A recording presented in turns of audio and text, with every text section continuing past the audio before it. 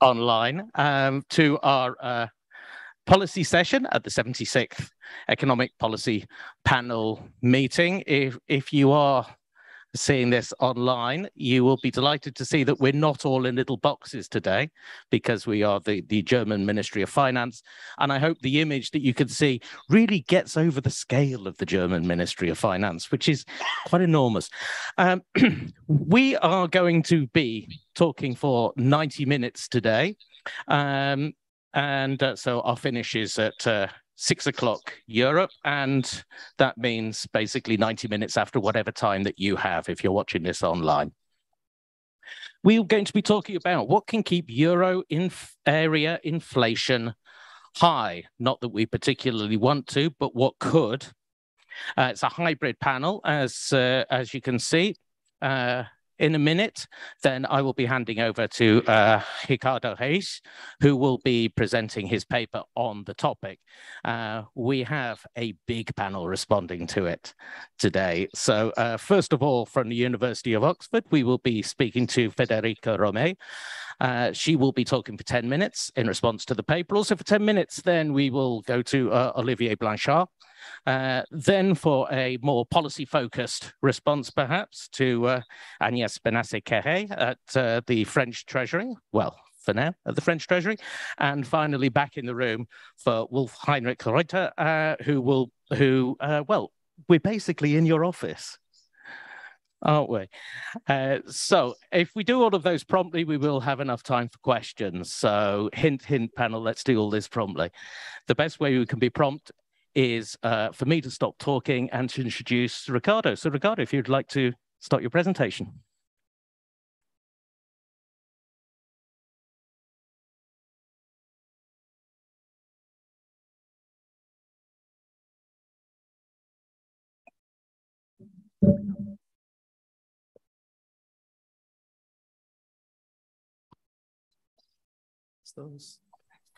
Great.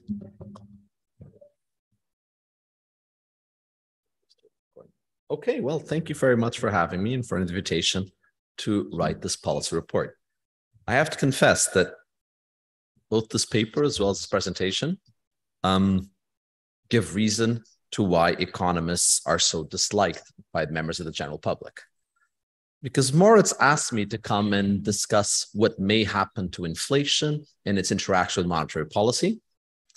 And as I thought about it, I thought, well, what I think I'm going to talk about is what could go wrong.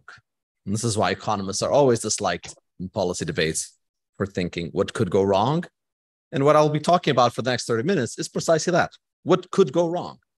Note, I am not saying it will go wrong. I hope it will not go wrong.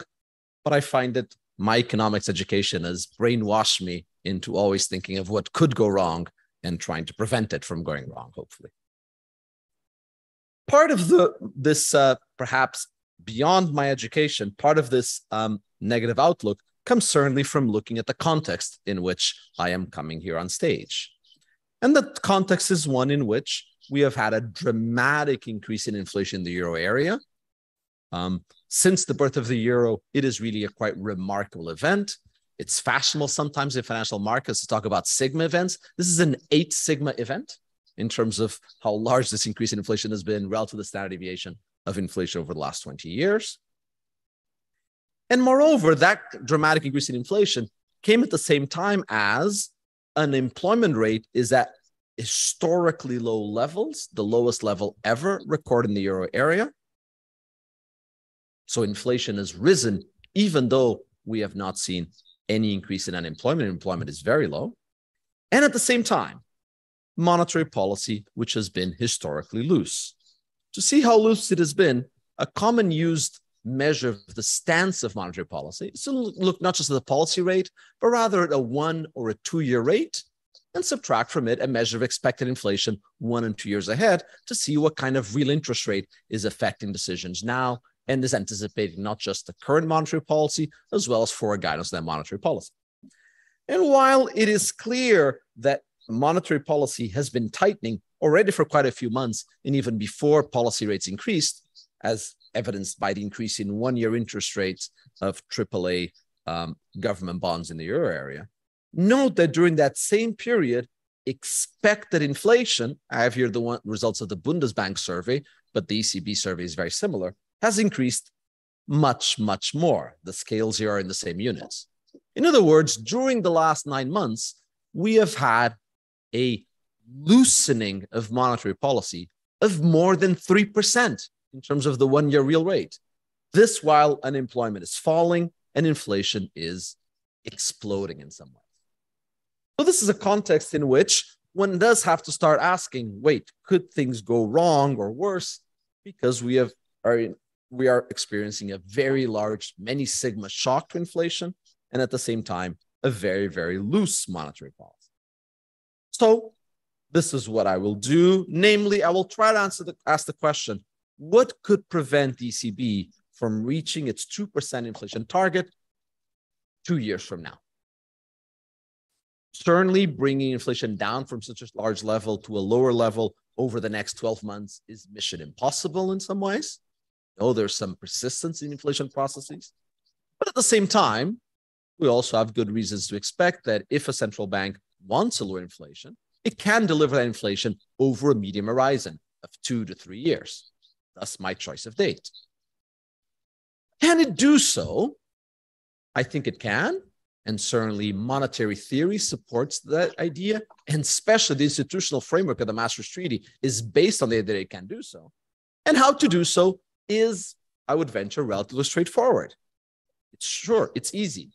Hike policy rates quickly, persistently until inflation starts coming down and expectations are solidly re-anchored. Should it do so? Slightly tougher question, especially if it looks over the next six months. I could bring inflation down by destroying a lot of things along the way. But again, once one starts look, thinking of 2025, the Maastricht Treaty is pretty clear deliver price stability in the medium term. You should deliver 2% two and a half years from now. Um, question then is will it do so? And what I will ask over the next 25 minutes is whether maybe not. And if not, economists have devised a word has become common, which is say that if not, it is because the central bank has become dominated. That is often expressed in the context of fiscal policy dominating central banks. I'm going to extend that and use the word dominance to talk about different types of dominance. That is, different type of reasons why the central bank will not do the sure, easy hike that is needed, stop from doing it, and as a result, we'll end up with high inflation. to be more precise, starting from high inflation, when would an interest rate setting central bank fail to raise policy rates, choose not to raise them, because it is dominated by other factors or agents with an application to the ECB That's what I'm going to spend the next 25 minutes. Number one, let me start with the first form of dominance, which I'm going to call misjudgment dominance. To do so, let me combine two equations that we already saw in, with Refet an hour ago, two very simple equations, just to back out some an elementary fact about monetary policy. Nominal interest rates I are equal to real interest rates plus expected inflation. And the central bank chooses nominal interest rates to track where the real interest rate is plus its inflation target and responds to that, uh, deviates from that, and therefore from expected and actual inflation being on target whenever inflation deviates from target according to coefficient phi. It is elementary high school algebra to combine these two equations to end up with how inflation can deviate from target. And misjudgment dominance is about this first term. If the central bank underestimates the neutral rate where the interest rate would be where we'd want to set the interest rate. Why neutral rate? Because that's where you would have it if inflation was on target. Then it will set too low interest rates for too long and we'll have high inflation. Very much the topic of the last presentation. When does misjudgment dominance then happens? Let me define misjudgment dominance. Happens when the central bank clings to either an outdated theory or a bad measurement of the economy, perpetually finding excuses for why inflation is rising, without pointing to the most obvious reason, which is that you're setting interest rates too low because you think that you should be setting too low. Your R hat is too low relative to R. Of course, the classic example of misjudgment dominance in textbooks is the 1970s. And when we looks at the components of that misjudgment, it is the fact that we had very bad real-time data that pointed to the economy uh, again um, at the time, we framed this in discussion of natural rates of unemployment potential output. The modern way of doing this is to talk in terms of neutral interest rates, but it's really very similar. almost the same concept. And we had energy shocks and the belief that everything would be transitory. And all these combined, thinking that all there was was a transitory shock, that it was just an energy shock. The real time data problems of having these accelerations all led to setting interest rates always too low. Will this happen at the ECB today? Highly unlikely, insofar as um, we have learned the lesson of the 1970s. And yet, simple calculation inflation target is 2%. The long run version of R, sometimes called R star, is probably around 1%. 2 plus 1 is 3. That means that you need to raise interest rates at least above 3%. And yet, if anything, we have seen quite a bit of timidity from ECB officials in saying that interest rates will be as high as 3%. Instead, the discussion and even market pricing of what the ECB seems to indicate is to levels below it, indicating very much the kind of misjudgment error. Second, and related, there is not just a measurement, but a conceptual difficulty and a conceptual form of misjudgment dominance. And that is to rely that R star, again, the long run version of R, this neutral rate, will be low for a very long time. This belief fueled the 2020 21 mission review at ECB because if you believe that R star is going to be low, then you think that uh, ultimately, well, you're always aiming for an R that's not that high. And therefore, you're always also underestimating what R hat is. And you therefore end up setting interest rates that are too low. And yet, if one looks at the last 20 years of data, the fall in R star is indeed very striking, the black line in my picture, when using government bond returns. If you look at the returns, the R stars on private capital or any kind of private financial instrument, you end up with either constant estimates or estimates that have only slightly declined. In other words, the real striking fact, together with the unambiguous fall in R star from government bonds, has been an increase in the specialness of government bonds insofar as they have started paying a return that's much below the returns that you observe elsewhere in the economy. That has meant that the task of estimating the right R in that equation, and therefore the right R hat to track, is a particularly difficult one, and one that depends on the specialness of public bonds, a specialness that with the increase in public debt post COVID, with the increase in public debt as a response to the energy crisis, is one that is certainly, and given the events in the UK just five weeks ago, is one that uh, is hard to completely rely on. That makes estimating where R is difficult, and therefore a conceptual reliance on R star will surely be very low is one that endangers precisely doing the misjudgment dominance that I was talking about. Second form of dominance, I call it, for lack of a better name, incredibility dominance.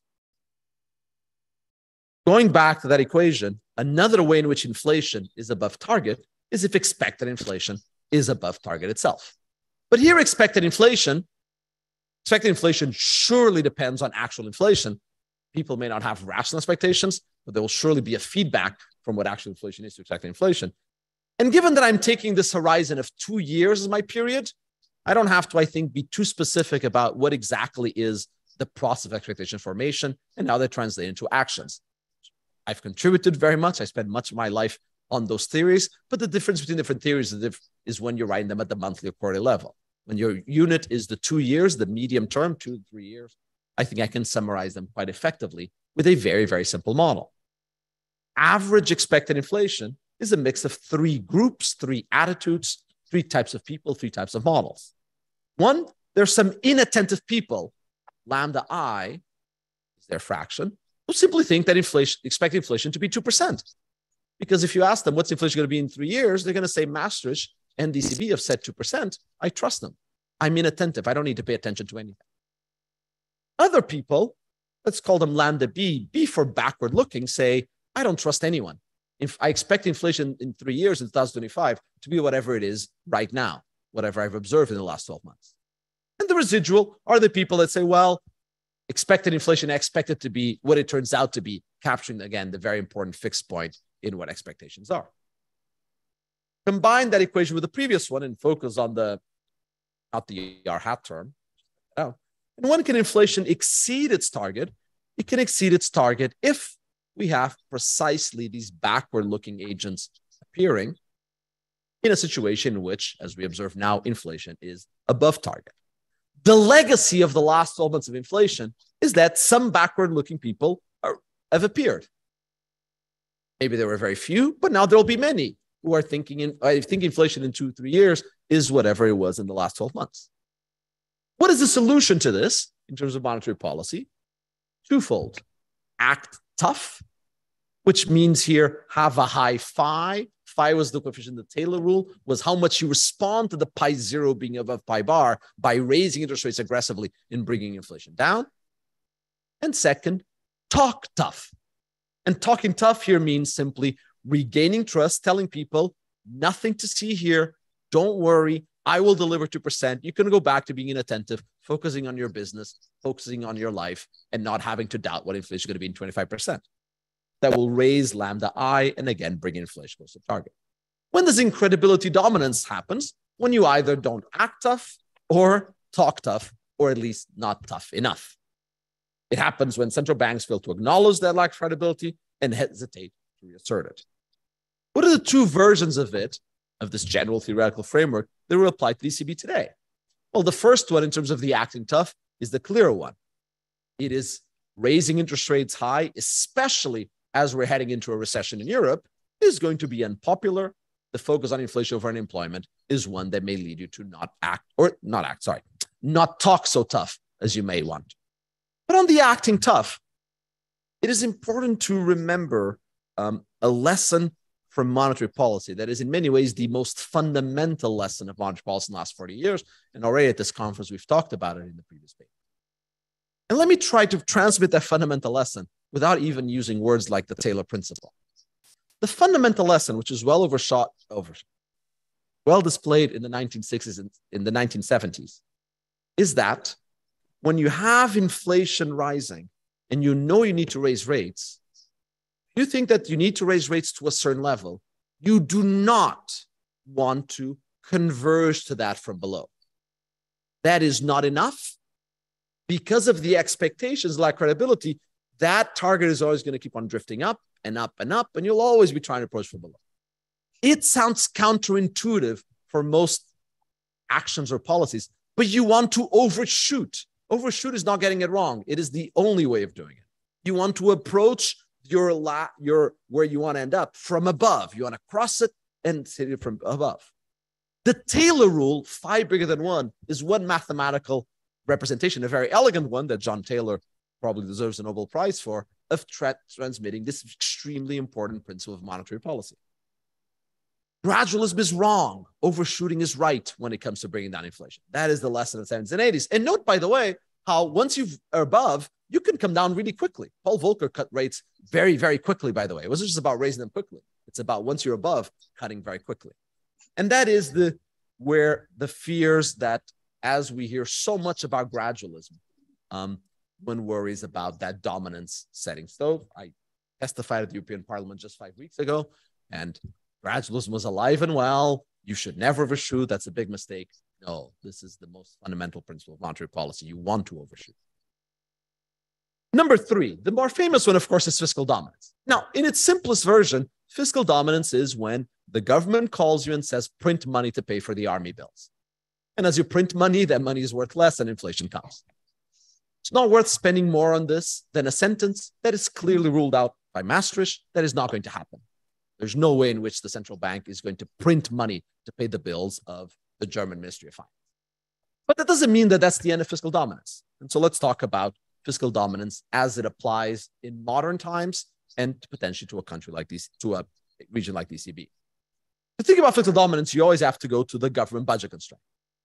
If B is the amount of debt you've promised to pay, and delta is how much of it you actually pay, either 100% or less, delta times B is the resources you use to repay the debt.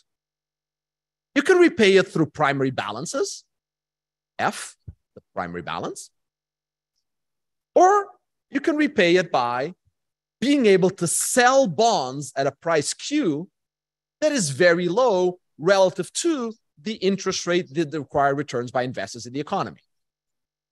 Term I've called this the debt revenue term. You're just able to get revenue by selling very cheap debt. Final, Finally, the last term is, of course, the market's expectation. Well, it is really the debt that you leave to the next period, discounted by the market return. Why? And why am I going to take this, three ter- this third term as fixed? Because once you look at the future debt discounted by the market rate, that's going to depend only on future surpluses, future debt revenues. And therefore, from my medium run perspective, I can take that as fixed. Note that if I had just killed these one plus r terms and written this as QB prime, I couldn't do that because the Q will depend on the future deltas. That depends on the current uh, current interest rates. It's by writing the budget constraint in this way that I can neglect the third term and focus on the previous two. Now, what is the form of dominance? When you raise interest rates, I, the policy rate, that's going to trigger a variety of mechanisms, a fall in bond prices, an increase in 10 year yields. That increase in I by lowering Q lowers that revenues. And that means the fiscal authority is going to have to match the tightening to bring down inflation with either austerity, lowering F, or default, delta less than one. That is the pressure, the fiscal dominance. Don't raise interest rates, because that's going to lower my Q, it's going to lower my debt revenue. At the same time, though, central banks not just set interest rates, but also engage in quantitative easing balance sheet type policies. That is, they choose the amount of reserves, V, relative to the amount of government bonds, B, that are out there. What is the role of increasing V reserves? Is that when you go and buy government bonds, you make those government bonds more scarce in terms of the uh, amount that's out there for the private sector to hold. As they become more scarce, their specialness in terms of their value as collateral, liquidity, store of value, and safety gets preserved, gets protected. That pushes up their price and pushes up the debt revenue. So fiscal dominance happens when the central bank does not raise interest as it should, because it will have an impact on especially this debt revenue term that will trigger fiscal actions that may not be there. In other words, raising policy rates is fear to break the government's budget. What are the three ways in which this can happen? First is you don't want to do it because uh, you're tempted by realizing that if I let inflation go up, that in itself, by preventing a recession, can increase the fiscal balances or can lower the B, the value of the debt. That is a form of fiscal dominance that should be the one to be avoided because it partly it's due to a misconception. Inflating away the debt letting inflation run will relax your budget constraint for the first few months, or even it has over the last 12 months. But by making the debt less safe in terms of now inflation risk, less useless collateral because of the volatility inflation that comes with it, and a less appealing store of value for foreigners because with inflation comes, as Refet just showed us, a depreciation of the exchange rate, you are making the debt revenue term shrink into the future. And therefore, this high inflation comes instead with higher financial fiscal conditions. Second, I said the central bank can raise interest rates and at the same time be able to keep that revenues high as long as it buys government bonds.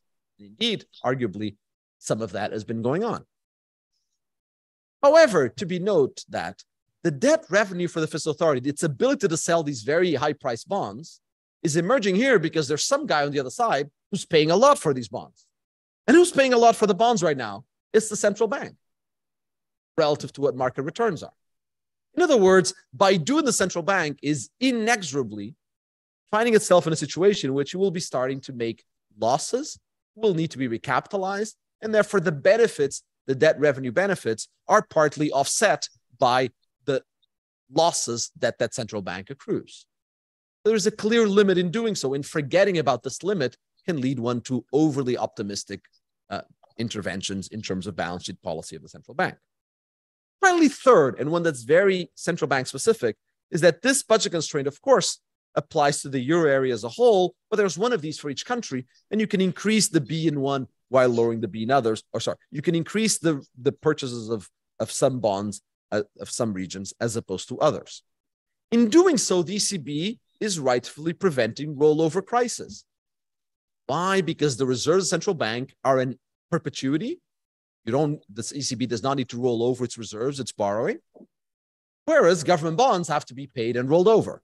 So the ECB engages in balance sheet policy, it is preventing rollover crisis or some diminishing them. However, there is a very thin line between preventing rollover crisis in some in some regions rather than others, and this leading to transfers and preventing solvency problems across regions. Insofar as that happens, it is, of course, the legality of the euro that comes under question. And remember that after all, inflation is nothing but the real value of a euro. And so any, even if remote doubts on the legality of the euro, translate immediately into high expected inflation and thus high actual inflation, therefore leading to the dominance of uh, over the desire to lower inflation. Fourth form of dominance, financial dominance. The interest rates on credit in the economy deviate from the interest rates set by the central bank over the space of those two years, say in a loan. First of all, well, they're anchored by the interest rate of the central bank because the, the bank could always deposit at the central bank, but they deviate partly because there is a markup, an intermediation margin in offering credit, and partly because macroprudential policy, which in its many guises consists ultimately of telling banks that you can't lend as much to the risky private sector, but you have to put some of it in safe assets. And what's the safe asset? Government bonds. An increase in the desire uh, in the requirement that banks hold government bonds leads to an increase in that margin because it implies that uh, resources, assets are driven there as opposed to credit to the economy. On the other hand, banks also take deposits, which are themselves anchored by the interest rate that uh, of deposits of the bank at the central bank, but deviate from it because banks have monopoly power, market power over the depositors, mu D. And moreover, the amount of liquidity captured by those reserves V means that the more liquidity there is, the closer will deposit rates be to the, the central bank, because you'll essentially, by having more liquidity, you will uh, reduce the market power that banks have in supplying deposits, which are the form of payment many consumers. Now, in this context, it means, and you can subtract one from the other to end up with the intermediation margin and how it depends on um, both macroprudential policy, balance sheet policy, as well as interest rates, because interest rates affect these markups. Higher rates hurt, higher interest rates right away increase uh, the interest rates on credit, they hurt borrowers, and they also, because higher rates come with more monopoly power of banks, this has been well established, they also hurt depositors.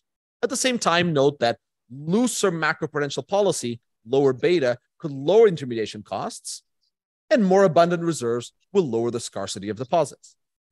Financial dominance happens when a central bank, in setting interest rates, is taking into account the effect that its higher interest rates has on credit and deposit rates, fears those consequences, is not willing to use macroprudential or balance sheet policy to offset those consequences, and therefore, for fear of causing a financial crisis, resists bringing inflation down.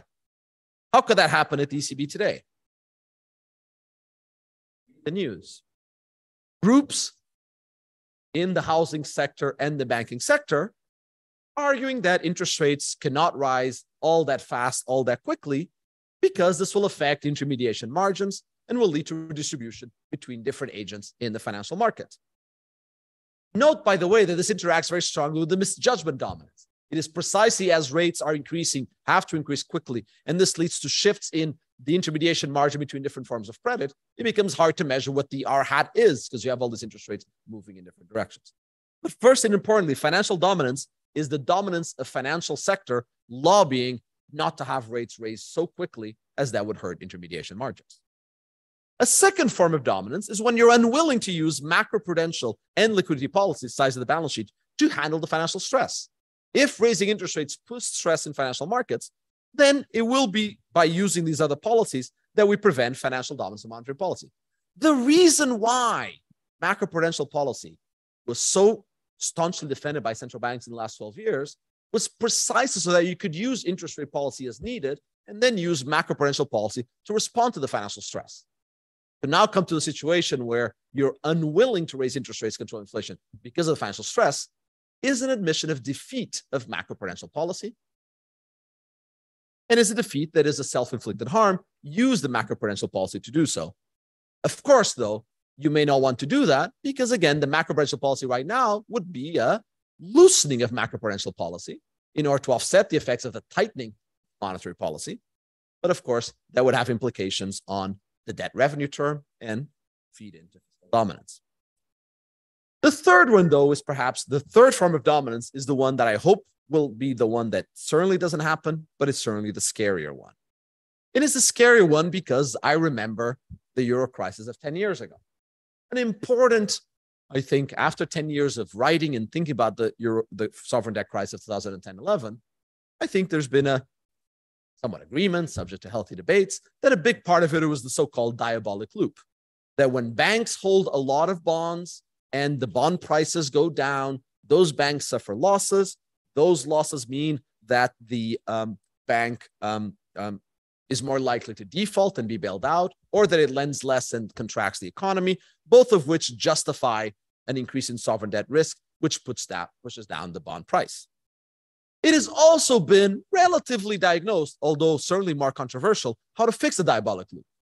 But all solutions end up rotating around this triangle I wrote here. You need some form of deposit insurance at the EU level so that a bank is not so tightly tied to its own sovereign.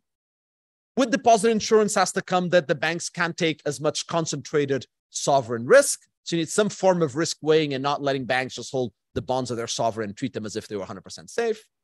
And then once you do that, you need to give the banks then some euro-wide safe asset that can be held. And these three reinforce each other and go around. We've certainly spent the last seven years discussing how to reach this triangle. You can reach this triangle with a very um, a, safe asset with minimal fiscal units, such as an ESB, a very limited amount of deposit insurance, just some loose concentration limits. You can reach this with a very radical form of fiscal union, banking union, where we have complete EU-wide deposit insurance, a euro bond, and um, sovereign bonds not being treated special. In between, though, we've been discussing, discussing, and we've done very little. If it turns out now that the increase in interest rates by the ECB to control inflation leads to the fall in bond prices that triggers a diabolic loop, and that we have repeated 2011 and 12, it would be truly a dramatic punishment for our lack of reforms the last few years. A problem that's very well diagnosed and whose solution is clear. And the question is just politically, how wide or tight do you want this triangle to be? Finally, recession dominance. Um, recession dominance. Inflation, last equation, inflation depends on expected inflation, output gap, and on supply shocks, where output gaps are negatively related to interest rates. Why so far I was treating that R as something that existed. This is how you close the model you bring the macro general equilibrium and you bring the R back into what determines it. Okay. By the way, nothing of what I said right so far changes once you include this. Importantly, though, this brings inflation as being driven also by fears of a recession because of the epsilon shocks. And by the way, all the other policies can also affect potentially what that epsilon is. What are those shocks? Energy markets, deglobalization, sectoral adjustments. When you have a positive markup, as these epsilons are often called, bringing down inflation quickly will come with a negative output gap. Recession dominance will happen when the central bank does not want to cause a recession. And so lets inflation get out of hand. If you want, instead of not wanting to break the government budget or the financial sector, you don't want to break the economy. I end with this. This is the last form of dominance because to be clear that it's not so bad to be dominated sometimes. Worrying about not breaking the EU economy is something that I hope DCB is doing and so being partly recession dominated is a good idea. We shouldn't be trying to bring inflation so aggressively and so quickly down that we cause a massive recession. Still, in thinking about whether we'll still have high inflation two years from now, we're going to ask whether we are too dominated by the recession in a way that makes inflation persistent, which is what the final three points are. The first one is the easier one, which is if you delay bringing inflation down, you're going to get more of those lambda B expectations. You're going to require an even larger recession down the end. Again, classic 1970s lesson of monetary policy. More interesting is that as inflation persists, as you say, let me just delay the recession, let me delay the increase in interest rates so that the recession is not quite as bad in the next six months. What you end up with is with a classic result in, again, the study of monetary policy. Tom Sargent is often associated with it through his book, Conquest of American Inflation, but it's a more general point, which is that as you let inflation persist, the slope of this Phillips curve, this kappa, starts getting higher and higher and higher. And at some point, your Phillips curve is very vertical, and actually raising interest rates is doing very little to cause a recession. All it will be doing is lowering inflation. But more specific to ECB today, beyond these very two classic questions, is the extent to which, as these epsilon shocks emerge, can you, is whether you start interpreting every shock as a shock that affects epsilon. And so when you start looking at whether it's the increase in transport costs, the increase in gas prices, or even the stockouts that one observes today, that they're all just recession inducing events that can be offset by monetary policy, as opposed to simply a lower potential output in the economy realizing that with these shocks, we are going to be poorer and there's nothing the central bank can do about it. The central bank should focus on inflation. Conclude, and sorry, I went two minutes over. Um, I wanted to end with the, with the recession dominance to emphasize that economic policy always requires a balancing act. Central banks should not be inflation nutters, in the fortuitous words of Mervyn King, that are completely not dominated by fiscal, financial, conceptual, and recession considerations. You shouldn't have zero forms of dominance at all. It is healthy that there's a dominance. However, understand those dominances emerge. The question is when thinking about this gloomy precaution perspective of imagining doomsday scenarios in which we become seriously dominated and we don't bring inflation down in the next two years, I thought it helps to come up with the taxonomy that I try to come up through in this in these 30 minutes of here are the different ways of dominance, misjudgment, incredibility, fiscal, financial recession. And in looking at those, be vigilant to see whether they indeed become, these forms of dominance become dominant in terms of the discourse. I end again as an economist, glass half full, in that I think there's good arguments that ECB has not succumbed to any of these dominance. Glass half empty, because for all of them, all of us should be paying attention and holding the ECB accountable because there's certainly a lot of forces pushing for these dominances to become dominant. Thank you.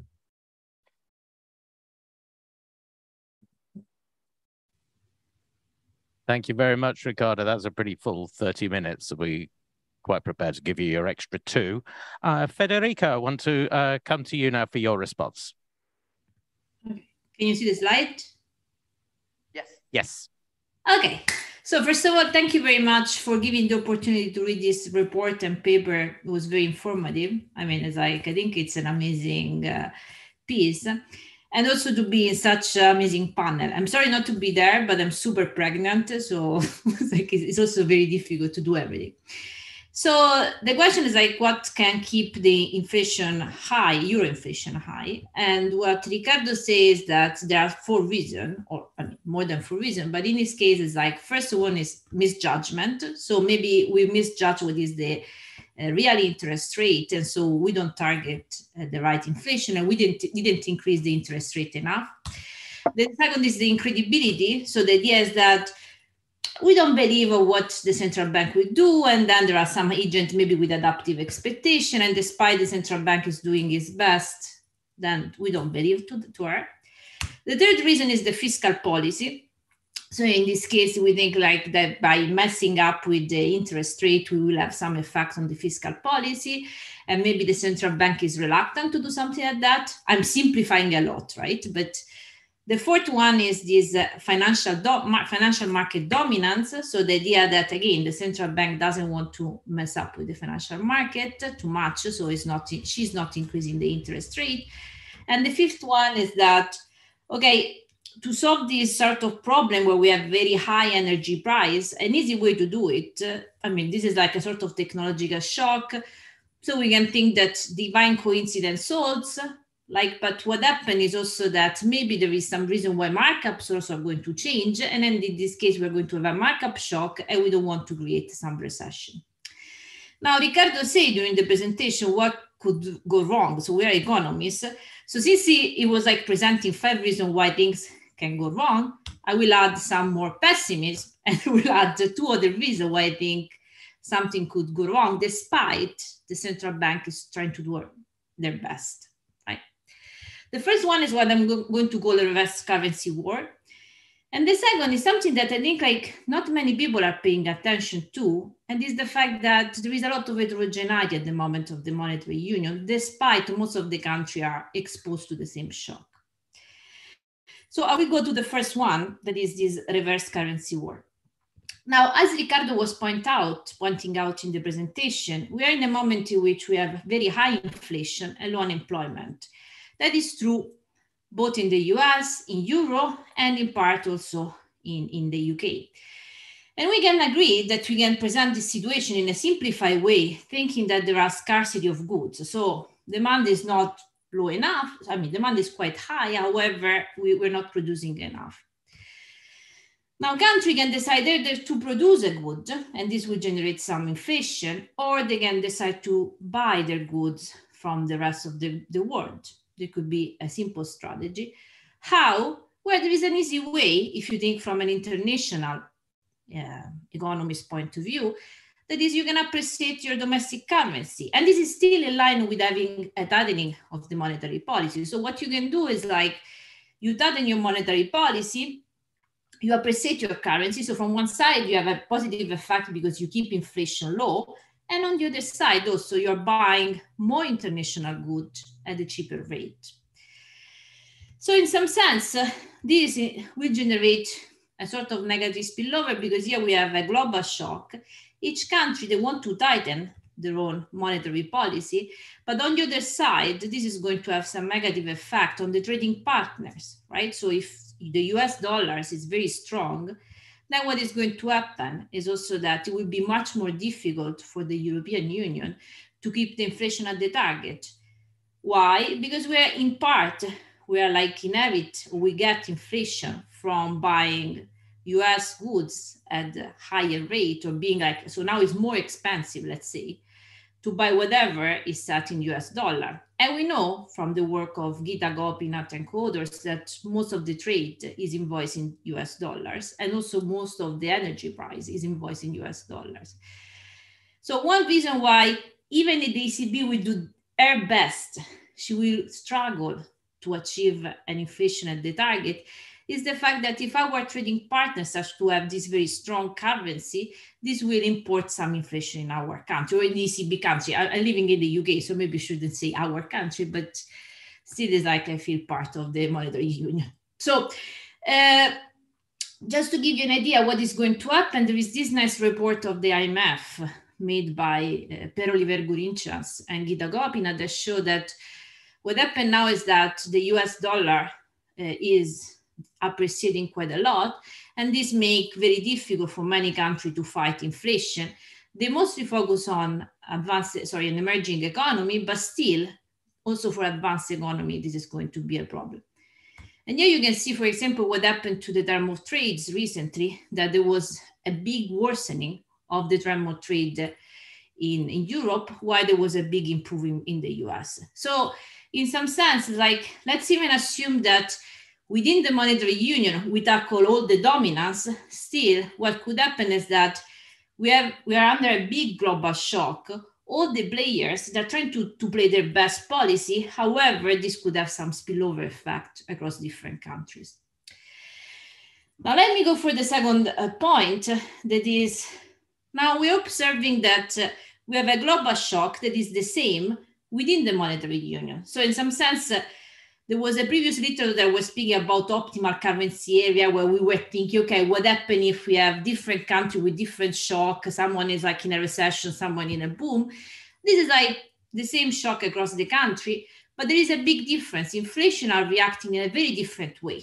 Due to, for, for, for example, to the exposition to the shock. So some country decided to ban gas from Russia much before the other country due to fiscal policy, due to many things, right? And what happened, yeah, I'm just plotting in the last month what is the harmonized uh, index of consumer price within the monetary union.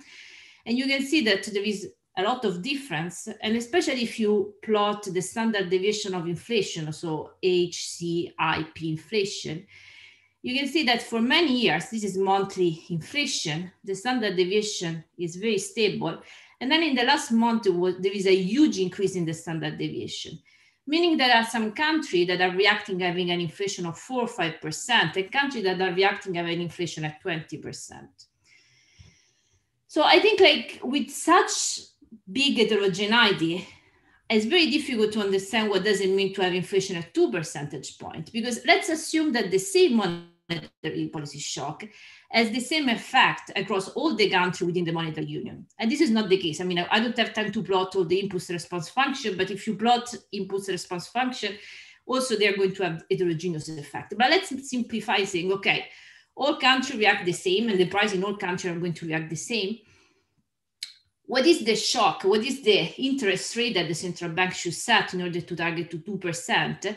And what is going to mean for different countries? So does it mean that some countries are going to be at minus seven and other at 11? Or how they're going to restore inflation at the target in many countries? And also the second question that I think is going to add even more to the debate is that once that some countries are going to arrive to one or two percent, are going to be are these countries going to be happy to face higher interest rate in order to keep inflation low in the bordering country of the monetary union? Or are they going to complain about that? Or are the countries that are going to have high inflation that are at the top of the distribution willing or bargaining in order to have higher interest rates and maybe they're not going to care about the recession? So to conclude, and I hope that I'm going to be in time. So the question is like, can the ECB keep the inflation at the target? Now, my answer is that even if they tackle all the dominance, there are many factors for what for which it's very difficult for the ECB in the next two years to keep the inflation at the target. But I want to be positive, and I think that with a strong cooperation among the European countries, so within the European Union, and also among the global economies, this may be, be possible. Okay, thank you. I hope that I'm on time. You, you were on time. Thank you very much. Uh, that's not how I often think about international cooperation, but the image is a strong one. Thank you, Federica. Uh, Olivier, uh, now uh, for your response. Thank you. Um, it's a great question. Uh, will will the ECB be able to get inflation down to target in finite time? And I agree with Ricardo as the choice of uh, the end of 2024 as being the outside bound on, on reasonable finite time. And I, I found the paper extremely useful um, in making a list, going through each argument and showing the interaction uh, the different uh, uh, the different dimensions. I, I, agree. Actually, I think that the list should add two items that Federica mentioned that I had not focused on them, but I think she's completely right. Um, I think it would be useful. The, the, word dominance is a bit misleading, maybe. Uh, I think it would be useful to distinguish between the issues which have to do, which don't have to do with, with dominance in a strict sense, and the ones which do. And in the first ones, it's basically even if there was no dominance of any kind, fiscal or financial, uh, you know, how, how, how does uh, ECB get the inflation rate down to where it wants? And there are just enormous issues there, uh, whether you call it misjudgment or just uncertainty what, what needs to be done. But for example, Ricardo rightly emphasized that the short run real rate is extremely negative still, but the long run real rate is, is more reasonable, not quite where I would like to see it, but more reasonable. So which is the rate which really matters? Uh, is it a catastrophe that the short rate is so low?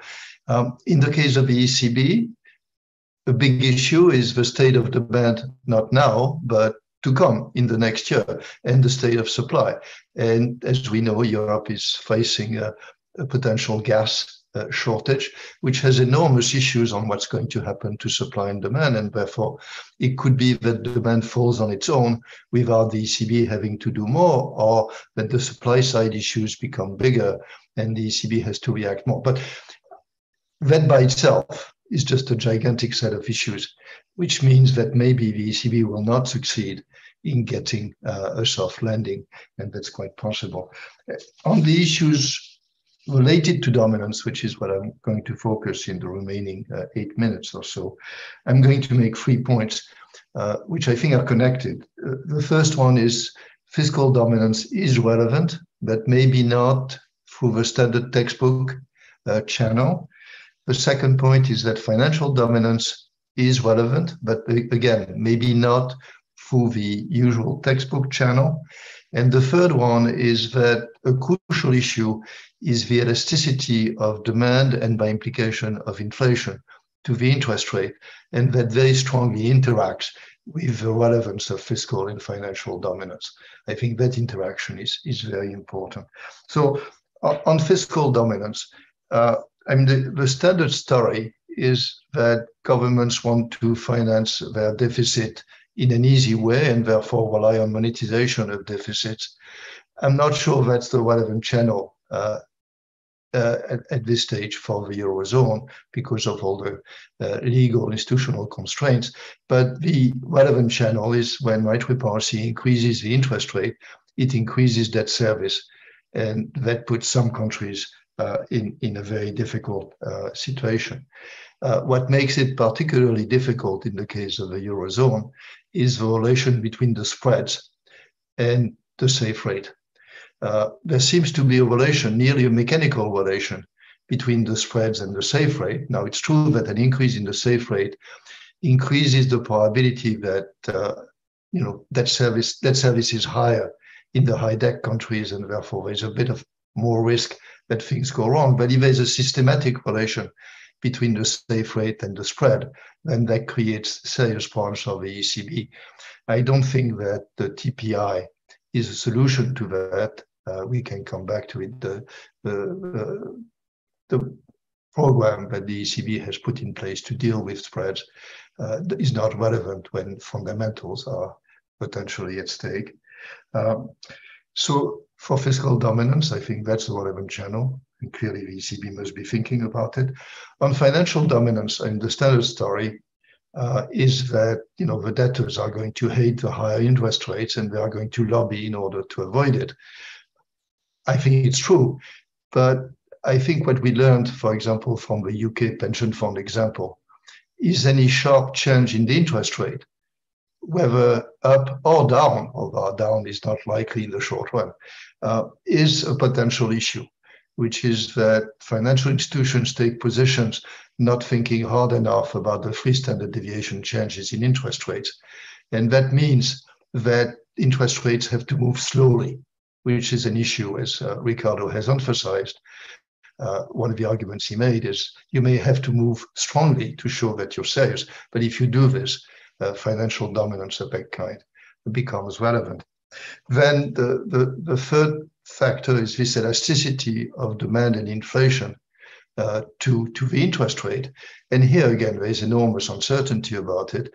But to the extent that demand remains quite robust, so this is not the case for the ECB at this point, but that's the case for the Fed, uh, you may have to increase interest rates a whole lot in order to basically slow things down. Uh, if the effect of demand on inflation is weak, you have to increase interest rates a lot. There is a twist, which is monetary policy works with a lag, basically a one year lag before you really see the effects. But the big issue is credibility of a declaration by the ECB that you have to wait. We're doing the right thing, but you have to wait 12 months. Therefore, the lags force central banks to increase interest rates more to show that they are really do, doing something. Now, as Ricardo said, that might be useful, but it could be overdone, and that's an issue. And to the extent that interest rates increase very much, the fiscal dominance issue, which I discussed, and the financial dominance issue, which I discussed, become very relevant. So this interaction seems to me to be central. Let me end with, you know, the big question. Okay, so these are all the ifs now, what do I think uh, the risk is of derailment? And I, I think for the Fed, which we're not talking about, the risk of derailment, the need to increase interest rates a whole lot is there. Uh, I think this may lead to fiscal dominance. It may lead to financial dominance. If the Fed is not done by the time, not the midterms, but the actual elections come, and Mr. Trump is reelected, I think independence of the central bank is an issue. And therefore, there's a scenario, small probability scenario, that things really go bad.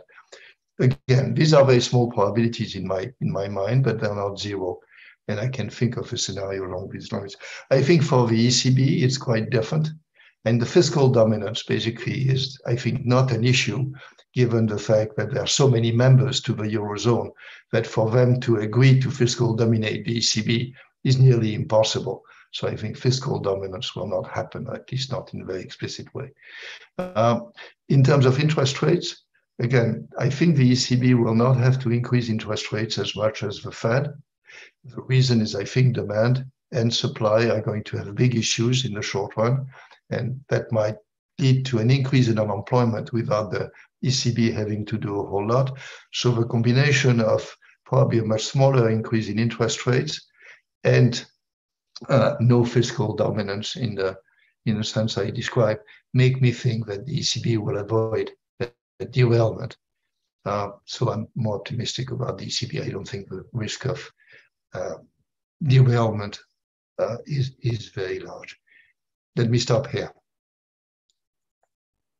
Olivier, thank you very much. And uh, so now we go to uh, Agnès. Uh, Agnès, welcome. What is your response?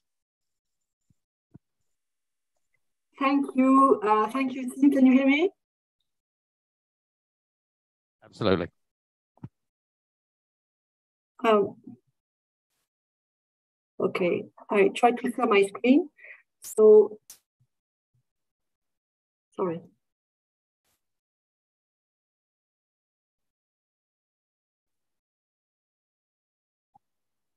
Can you see it?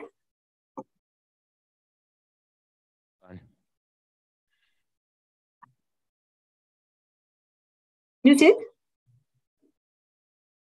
Okay. So thanks for, for the introduction.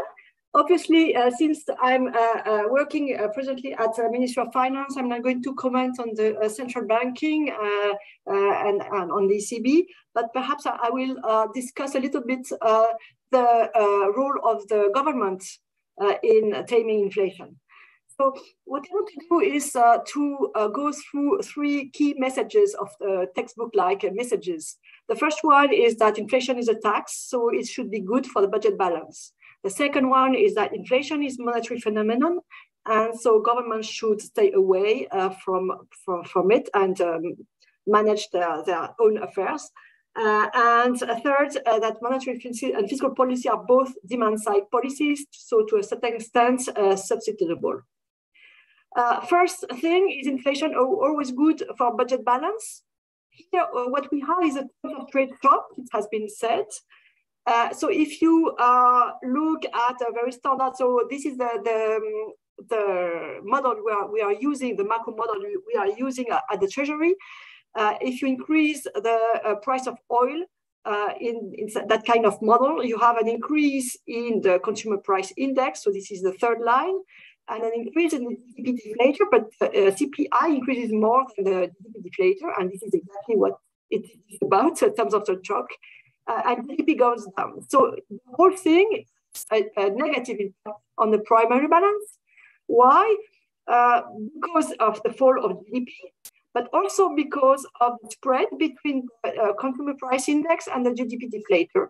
Because spending is more or less uh, goods uh, increases more or less with CPI, whereas revenues uh, are more mostly on the GDP deflator. So if there is a gap between the two, then uh, there is uh, less uh, revenue compared to the increase in spending.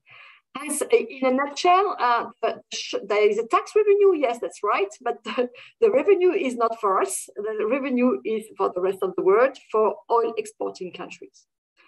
So uh, on top of that, as you know, uh, several European countries, am in French, have uh, decided some discretionary spending to address uh, this uh, crisis. So this may be a good thing or a bad thing. I will discuss this later on. It's about two or three percent of uh, GDP, which is quite sizable. they are. I, am not going to in the details of the of the spending. So if we uh, write down a snowball effect, so BT being uh, the GDP ratio at the end of, of uh, year T, uh, so here you have the, the usual accumulation uh, equation uh, with the nominal interest rate minus the inflation rate, but you need to extract the part of, of the debt that is indexed on inflation. In the French case, is 12%. And then you have the impact on growth uh, if growth goes down. Uh, so it's not so favorable. And then uh, the second term is the primary balance.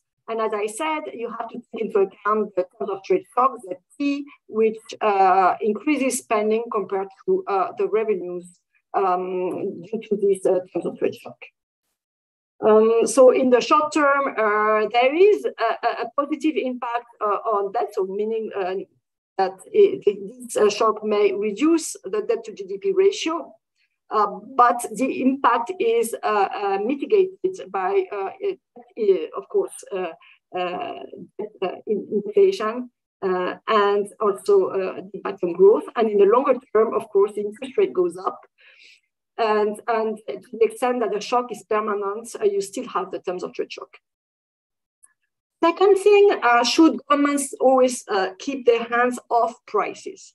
So uh, Ricardo made a very brilliant presentation, and it was, but it was from the point of view of, of the central bank. And I was uh, interested uh, by the different uh, kinds of dominance.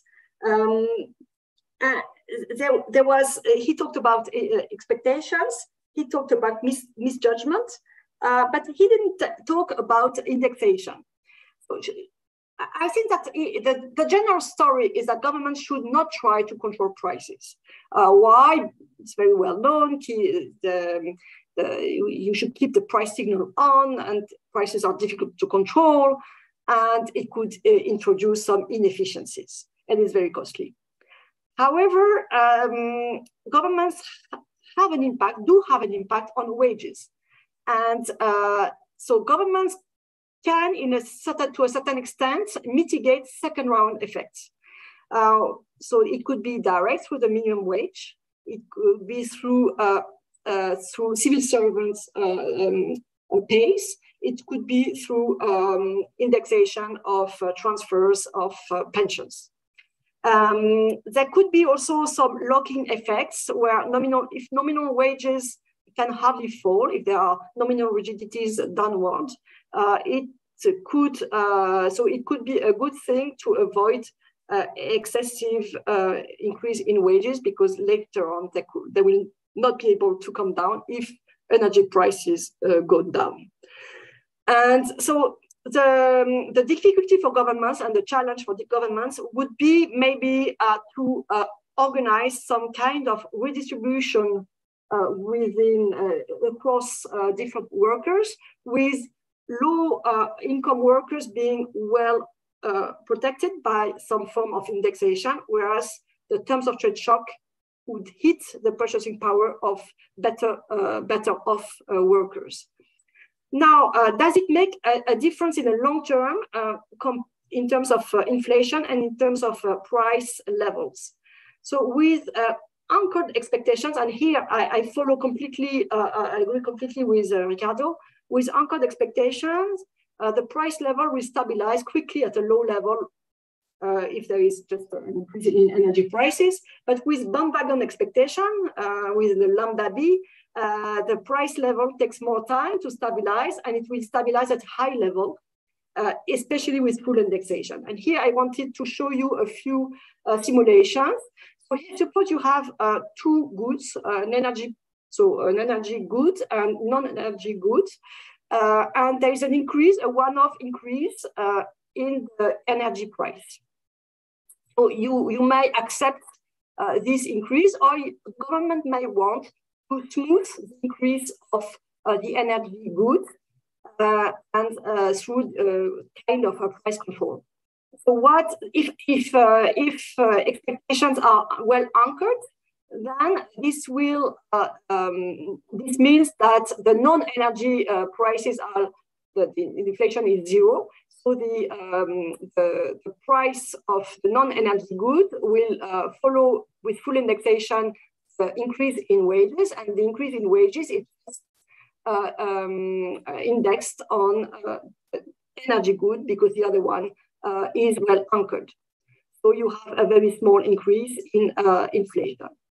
But if you have bandwagon expectations, of course, the story is completely different. Uh, but then, uh, uh, the difference between the two uh, curves, the no cap curve and the inflation smoothing curve, uh, is significant in the short term and converge in the longer term at a higher level, of course, is there is full indexation compared to, to uh, only partial indexation. And what I want to, uh, to say here is that with indexation, you have slower convergence, but to a higher inflation. With partial indexation, you have faster convergence to lower inflation, uh, with a lower inflation.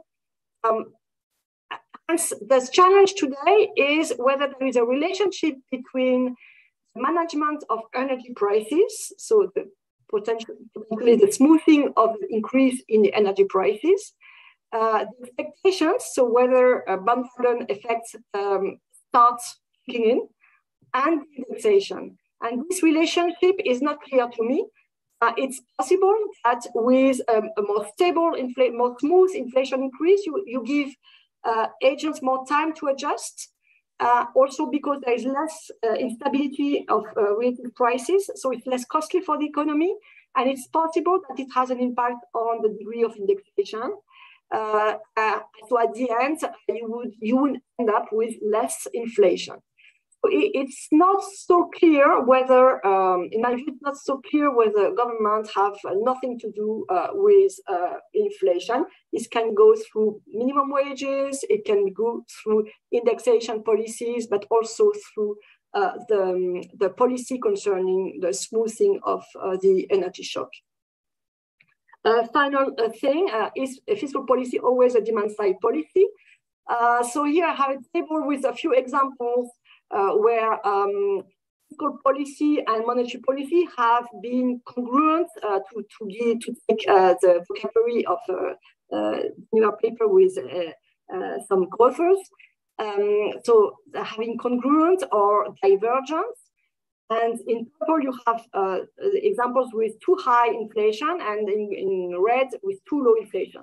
The story is that monetary policy is, of course, because it has only one uh, um, one mandate, one um, objective, it, it goes in the right direction, tightening when uh, uh, tightening when inflation is too high and loosening when inflation is too low.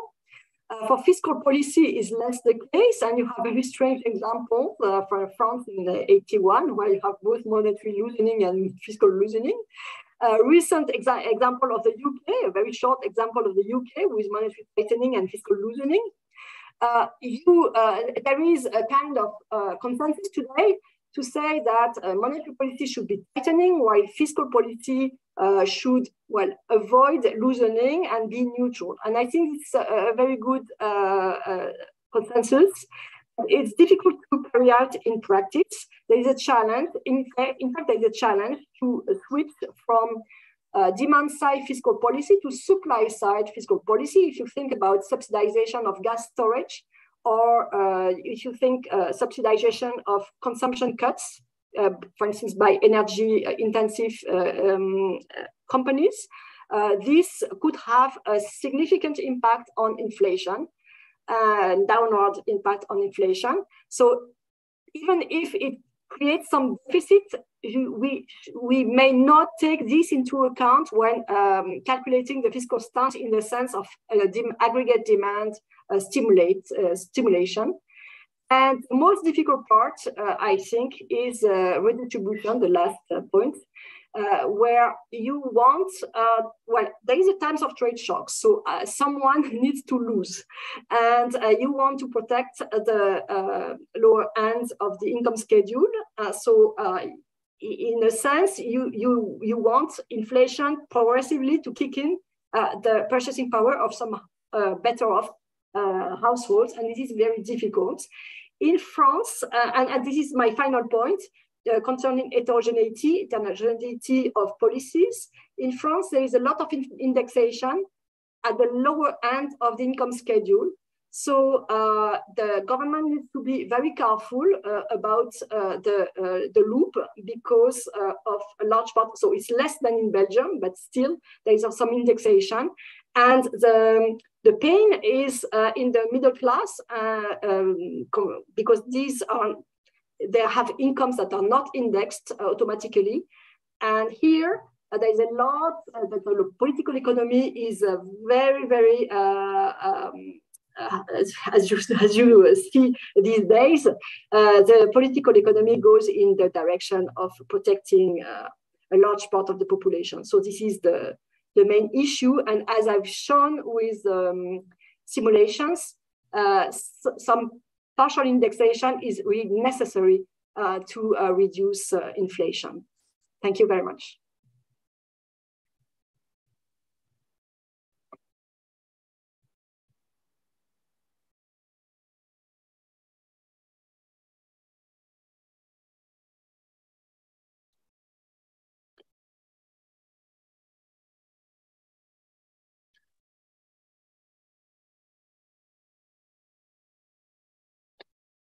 You are muted.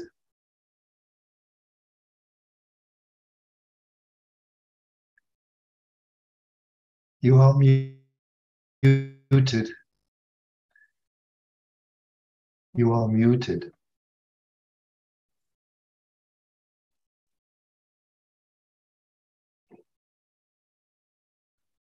Yes, now it works. You hear me? Okay, great.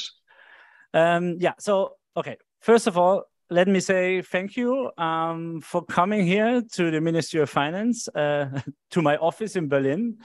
Um, I think it, it's so important to have a, a lively exchange between uh, science, economists, and policymaking.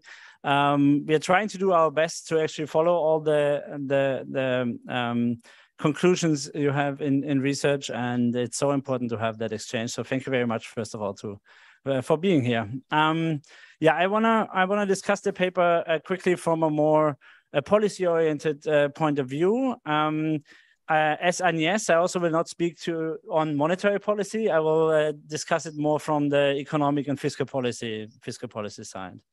Um, so first of all, um, and not only from a monetary and fiscal, um, from a fiscal and economic policy point of view, but also from a German uh, fiscal policy view. Uh, so first of all, I think we are trying to to um, get fiscal policy that doesn't uh, hinder the work of the ECB, that uh, supports the ECB in fighting inflation and uh, get, getting to target. Um, if I if I look at your uh, your different dominances, um, then the first one is fiscal dominance, uh, the risk of fiscal dominance. I think there to address that risk um, in Germany, we try to get back to the debt brake, which we have in, in our constitution. Um, we are trying at the European level to support uh, um, common fiscal rules, which try to uh, address the, the risk of fiscal dominance. If we look at the financial dominance, uh, I think Germany was quite uh, early in in increasing uh, macroeconomic policy, uh, macroprudential policies to actually build up uh, substantial buffers in the in the financial um, in the financial system. And uh, at the European level, I think we also support uh, breaking the the sovereign bank nexus and uh, addressing the concentration concentration of bonds in the bank balance sheets. And uh, the, to, to the third uh, dominance that you mentioned, the recession dominance, I think also there, fiscal policy tries to forcefully uh, and targeted um, to address the recession risk. We we implemented different uh, fiscal packages in the in the last months, um, which which try to address that that recession risk.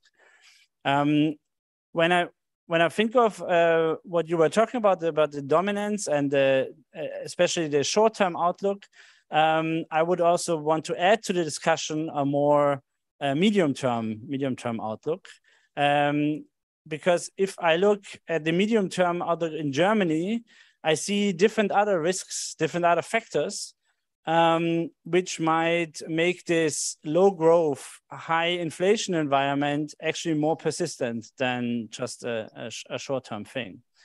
Um, first of all, already before the, the COVID pandemic, we saw uh, low productivity uh, growth rates, um, which per se already um, have the risk of having higher inflation pressure, higher inflationary pressures and lower uh, weak, weaker growth. A second factor, which is uh, which will be very dominant in Germany in the coming years. We already see shortages and bottlenecks in different parts of the economy. Will be the demographic will be demographic change. Um, so in Germany, a lot of a large part of the population will actually get close to the retirement age or get into retirement age in the coming years. And uh, as I said, we already see it in the economy in different places, but this will, will worsen over time and will also put pressure on price, uh, upward pressure on prices and downward pressure on growth. A third one, uh, climate policy. So of course, we always um, um, try to find good uh, policy in the, to, to address climate change, which will increase growth and which will uh, then bring down prices. But there is a risk there that we will also see an inflationary effect of that, of carbon pricing and of uh, the, the transformation uh, in general to, towards more climate neutral uh, technologies. And the fourth factor, which is also uh, quite important for Germany, um, the, the, the new kind of globalization that we might get in the coming years. Uh, also there, um, prices might go up because we are not only trading with the, the cheapest trading partner anymore, um, and productivity will go down because we are not using all the, the benefits of division of labor basically anymore. So we have a, a whole range of factors which might lead to, um, to stronger inflationary pressures, higher inflationary pressures, and, uh, and, and lower growth also in the medium term. And against that background, the question is what would be the, the, right, the right fiscal policy?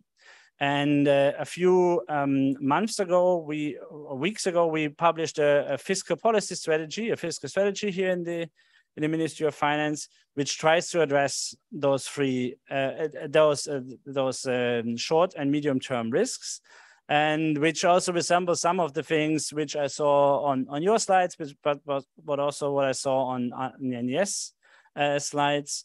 So the, the strategy basically has three pillars. So we have the, the first pillar, which is crisis stabilization, where we say we need to maintain the productive capacity of, of the economy, but we need to do that in a limited and temporary way um, uh, and try to design the support measures in a way so that we get to a, a longer term transformation. Um, the second pillar, growth through supply side policies. Basically, everything that helps us increase productivity or increase the, the product production capacities of the, of the economy.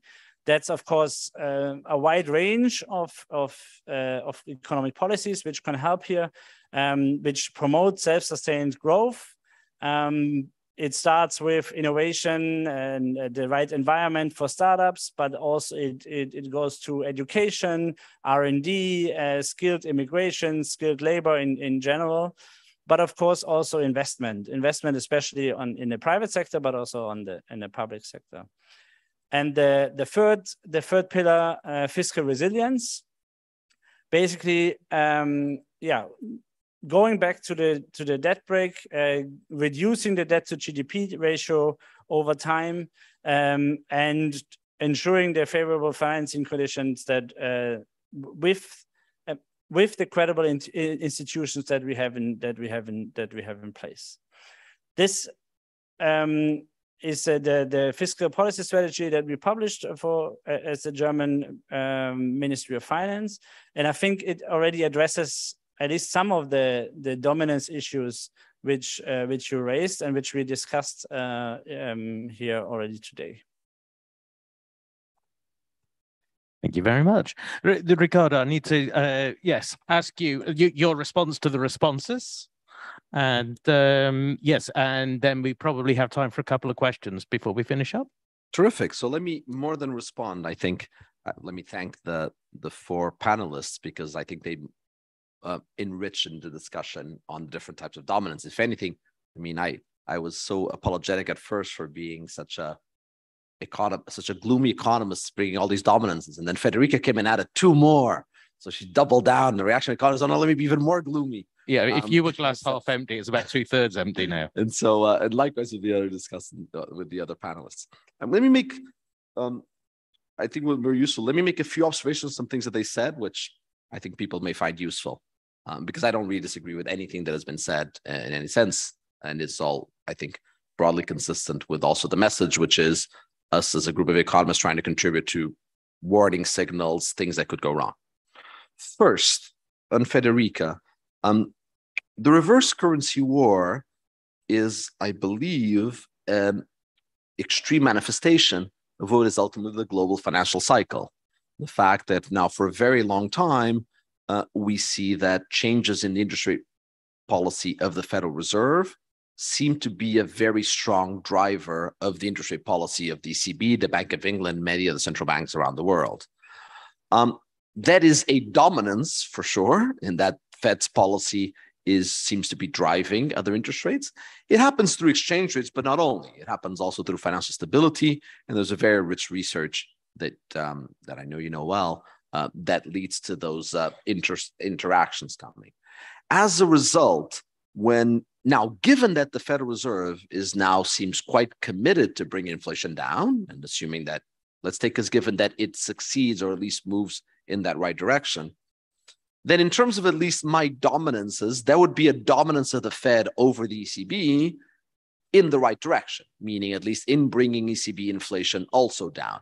Meaning the risk there would be that the ECB is too little dominated by the Fed, meaning gets out of sync with the global financial cycle, and that leads to those uh, changes in exchanges that you noted, as well as potential changes in financial conditions. But at the same time, and I think this came up a little bit in Olivier's talk, the shocks are different right now. Um, for all purposes and as a crude approximation, the US has no supply shock. Oil prices are already below what they were in 2000 at the end of 2021. The US does not use Russian gas. Prices of energy, even broad index indices for the US, are now relatively stable and low.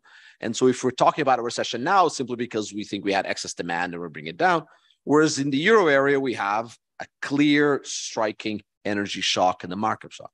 So, to elaborate on what you said, I think it is um, it is a case where there used to be a dominance that being dominated was okay, or certainly it worked in the last 20 years. Now, escaping that dominance is both a source of danger as well as though a necessity. It seems um, repeating, I think, I think I believe it was Olivier, maybe Agnès that noted, while I think that interest rates in the ECB in the euro area have to go to at least 3%, um, I'm very much of the view, as I said, the Volcker view of the overshooting that they should go up quickly to three and a half and then be brought down quickly as well, given the fear of the recession the market shock. Whereas in the US, it seems to be unimaginable that inflation will come down if rates don't go above at least five and a half or so. So I think that's just a very delicate balance. And I think the considerations Federica brought are very important. But in that mix of do you want to be more or less dominated by the Fed, um, there's actually an in between there that, um, um, anyway, hopefully you guys found interesting. Second observation on the fiscal dominance. Olivier uh, rightly put it, and that the fiscal dominance these days is all about servicing of the debt, what I call the debt revenue. That's really the fiscal dominance. It's not about the finance ministers getting together and saying, pay my bills. It's about how worried are you with the impact that interest rates have on bond prices and therefore on the cost servicing of the debt. But then Olivier said, well, but I think that's not really the key thing. I think it's much more going to be financial. But one point that I try to make in the paper and that I'll elaborate even more now is how the two are very intrinsically connected. Um, that ultimately, you know, and you see this in the UK in the last four weeks, you see this in the US in 2020. There's a problem in bond prices and with debt servicing costs. And immediately we say, well, but because these government bonds are being used as collateral liquidity here and there, this triggers a financial crisis. And so as a result, the financial crisis seemed to be very tightly linked to the bond prices. And therefore, once I think about fiscal dominance as being all about bond, government bond prices, then that distinction becomes one that's very hard to make. And more, um, let's go back a few months to uh, the ECB finally starting to raise rates, in my view, a few months behind time. I don't think it was a coincidence that rates were finally raised at the same time as the ECB announced a plan, the TPI, a program that was all about controlling rates on government bonds, not because of fiscal dominance, but because of financial dominance and the fear of how uh, otherwise there would be a, an effect through spreads. In other words, walking backwards, I think somewhat controversially, but not out of line, that there was an element of fiscal dominance via financial dominance holding back the ECB from raising rates earlier if I go back in June, May, or April. And so, to that extent, I'm a little less confident than Olivier that there is no fiscal dominance at all in euro area. It's more subtle, and I can look back at the recent future and see a little bit of evidence for it. And as a result, be more worried than he is, I think, moving forward. Even if it is a particular very foreign fiscal dominance that intersects with financial dominance, and it's always about what's happening to the government bond prices or not. Third observation, um, uh, Agnès, on the wage and the role of the governments. Um, I think, you know, again, looking forward and in the spirit of this panel, looking forward and looking at dangers and others, uh, let me be, I guess, less of a danger, but more of a, a peculiarity that we're seeing right now in terms of wage developments in the euro area and in the United Kingdom. Um, facing a very negative supply shock, um, traditionally, we would see a very large increase in unemployment as the adjustment happened through more people losing their jobs, even at the same time as we wouldn't see much of wage cuts because of very strong dom- downward nominal wage rigidity. Because we have such high inflation, what we're seeing right now in the euro area, France included, is instead nominal wage increases of 3 to 4%, which in light with 8% inflation are around of a real wage cut of 3 4%. And lo and behold, we're heading into 2023 with a very peculiar recession in the euro area, a recession in which we see no signs of unemployment rising, but instead a recession coming through a fall in disposable income, a fall in GDP because of wages being cut by 4%. If you want, it's an RBC or a classical recession as opposed to a Keynesian recession. Uh, insofar as it's not showing up in unemployment, it's showing up through real wages, through income, and through GDP. It's still a real recession, and uh, it's a real recession, uh, insofar as it's hurting income and well-being in the same way, but it's happening that way. And it's happening why? Because of the high inflation that we have. But I think it's a clear case of where um, the high inflation again has its benefits, or maybe not, but at least it's leading to a different kind of recession and requiring different policy responses. Compare it with what's happened in the UK in the last two months. Or so. This has partly been due to governments through their influence on minimum wages as well as um, the wage bargaining centralized process having essentially been able to support this fall in real wages uh, in the form of the recession we're about to have. Look instead at what happened in the UK, where we don't have those mechanisms. What you've had is every weekend for the last two months, as a resident of the United Kingdom, like Federica, we've had menu costs, meaning a strike every weekend as a different group wants to have its its wage go by 8% and let someone else have their wage increase by 2% to reach that average four or five. Um, we've seen the menu costs on a daily, on a weekly basis. Uh, those are the costs of inflation that happen when the governments don't help in that coordination or when we don't have that coordination of wages, has been very clear.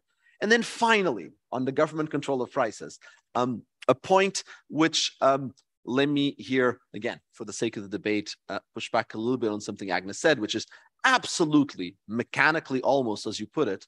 If the government controls some prices, at the end of the day, inflation is an average of prices, and that will bring down inflation somewhat. But the experience from emerging markets where these things are done all the time, and I don't pretend to be an expert, but I've seen enough of these at least, um, is that if the government pushes down inflation by setting low, by having some of the price controls lower in one way or another.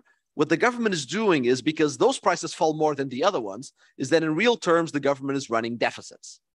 Deficits that very quickly get large and that accumulate within a few years. And the government finds itself that after maybe a few months of being able to drive down inflation through price controls, it takes only two or three years for instead it the, the deficits and the debt associated with it growing so much and so much and so much that the government finds itself having to abandon the price controls and now facing a very large amount of debt, causing inflation because of the pressure of how high the debt is and the fiscal dominance that that entails. That is, in other words, I don't think that government control prices can help with inflation. All it can do is delay inflation and actually lead to more inflation later on, two years later, through a fiscal channel, perhaps. And so I worry a lot about leading that channel just because I've seen this happen in emerging markets very often. Doesn't mean it always has to happen. And it does mean that in a time of high volatility, this government control can help smooth the inflation. But there is, I think, this big danger of it leading to just more inflation later on when the debt that results from those government price controls uh, endangers its own inflation later. Thank you. Thank you, Ricardo. Well, we've got a we've got a few minutes left. So let's say we have time for if there are two questions in the room, we could take two questions in the room. Yes, well, there is there one other, and yes, there as well? Yeah. So we take these two questions. They have to be reasonably quick fire. I know this isn't a quick fire subject, but you know. I'll be quick and wanted to thank Ricardo and all the panelists also in the name of the managing editors of economic policy for this fantastic session. Here's the quick question. And of course, the uh, finance minister for hosting us. Thank you very much. Um, the quick question is how worried should we be about financial stability risks given this large increase in interest rates? And if I, uh, if we follow Ricardo, even probably a stronger short-term overshooting, how do we deal with that? Yeah, that's great. And we'll take the other one as well. Before the last year, central banks were trying to convince financial markets that they would lead inflation be positive and high. In average inflation targeting was adopted. So aren't central banks losing credibility by stepping back on their promise on long-term plans as soon as inflation started to be positive? Great questions. Quick fire answers. I've spoken too much, but I'll just answer very quickly. On the first one on Moritz, I think Olivier hit it on the nail, which is it's an issue of, as I'm saying, you need to raise them and raise them relatively quickly, but not too quickly. I think a lot of the issue with financial markets is just dealing with changes in the bonds. I mean, I think the example in the UK is very clear. Increasing interest rates helps the pension funds in many ways, uh, but it was so sudden on the budget on how quickly it happened in a couple of days that some positions were exposed and lead to a problem. So it's an issue really of pace. Uh, I don't think it necessarily has to interfere with that you overshooting. It's still the case that it's basically a reason for why you don't want to increase interest rates by 300 basis points now, but want to do it in 50 basis point meetings every month. And then the macroprudential tools, I think, help along the way. And then on Nicola's very good question, I think that's completely right that we wanted a little bit of inflation, but I think we're just over it. If inflation was four percent right now, and I think I, um, I think we, I'd be saying great. You know, we're doing the average, we're below it, four percent for a year or two, and then let's bring down to two, and that would have been great. It's just that we lost control of that, and now we're at nine, and so as a result, I don't think that going back would be a deviation. I think essentially you're completely right six months ago. I think right now it's just gone too high that I don't think that danger is present. Great, thank you. And I just want to ask uh, on our remote panel, uh, do any of you particularly want to make a final comment or add anything? If not, you're welcome not to. No hands. That's no, I, just just oh, quickly Olivier, yes, because I, I, I want to disagree with Ricardo on an important point, which is the role of protection programs in protecting people, but also in lowering inflation. I think to the extent that we think that the gas prices are going to be very high, but are going to come down to a much lower level in a year or two, then I think it actually makes sense to smooth it out. France has had only 5% inflation as a result of this. This implies smaller second round effects. And to the extent that these price caps at some stage become irrelevant because the price has decreased, I think this is a good way of fighting inflation. Let me stop there. Thank you very much. Thank you. Oh, if I can add something, uh, I, I, think uh, in principle, I would not disagree uh, with uh, Ricardo. Less inflation today, we means more tomorrow. But the, the point, the whole point is about managing inequalities. So if if inflation goes out of control very quickly, then you have a, a, huge increase in inequalities that the government cannot control. So the idea is not permanent control of prices, of course, but it's uh, how to distribute the loss across households, across firms, and between households and firms. This is all about uh, how, the management of the, of the shock. And I think we sh- and the fact that real wages are, are on the are um, falling today, it's not really a, a, a proof of, of anything because we all know that uh, the increase of wages, nominal wages, will be spread over at least two years. So um, I think we really have here a, a, a danger of an explosion of inequalities and uh, political economy danger. Uh, which needs to be managed. And we should not um, and so in that perspective uh, price controls could be one additional temporary tool. Um, but of course, it's not the solution in the long term. inflation not that it, not that it doesn't have other effects and they may be a good policy. And on Olivier completely right. That's the answer to my objection is exactly that. I was making a point if it's persistent if it's temporary then absolutely then you're right. So i agree with both things said yeah it's just whether it should be an active policy to bring down inflation as opposed to monetary policy is where it gets limited sorry I, you, you're very welcome but we have to stop because we've run out of time. Uh, thank you very much. Thank you, Ricardo, for a, a, great presentation. Thank you to everyone on the panel for uh, to, for raising all those points. There is uh, there is so much to digest, and it is so important. Thank you to everyone who's been uh, who's been watching online and to everyone in the room as well. I believe the next order of business is dinner. Well, it certainly is for everyone in the room. Whatever you do online, then that's fine. You, you know, if you want dinner, I hope it's a good one. Um, so uh, join us tomorrow morning for the next sessions. Uh, but uh, meanwhile, from all of us on the panel, thank you for watching and good night.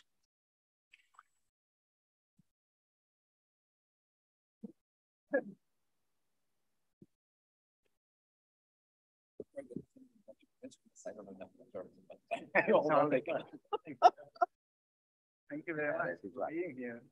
Good. I thought it was an interesting discussion. Oh, very nice. Yes. You guys enjoy the conference here? The whole day already? Yes, of course. Yeah.